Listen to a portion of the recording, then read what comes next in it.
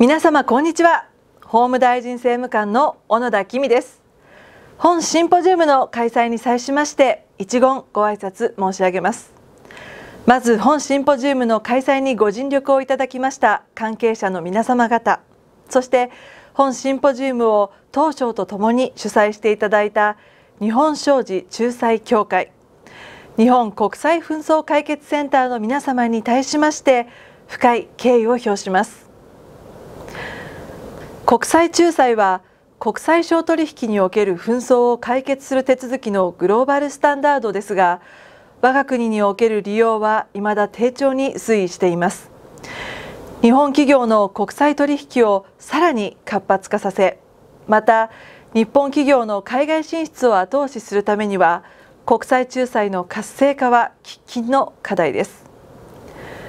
法務省では国際仲裁の活性化に向けて日本国際紛争解決センターをはじめ関係機関と連携し国内外の企業に対する広報意識啓発。仲裁人仲裁代理人の人材育成。仲裁専用施設の整備等の各施策を積極的に実施しています。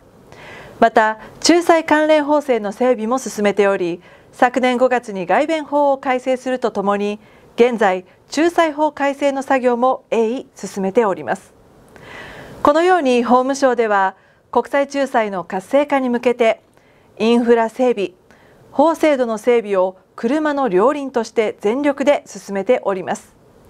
我が国の国際仲裁を活性化させるために国際仲裁のユーザーである企業の皆様にこのような日本の取り組みを知っていただき日本が魅力的な仲裁地審問地であるということをご理解いただきたいと思っております。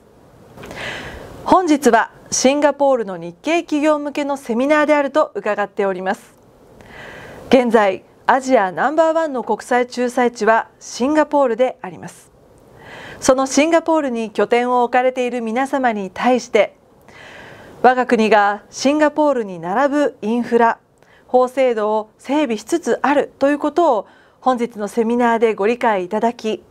国際仲裁を行う際には日本を利用してみたいと思っていただければと思います。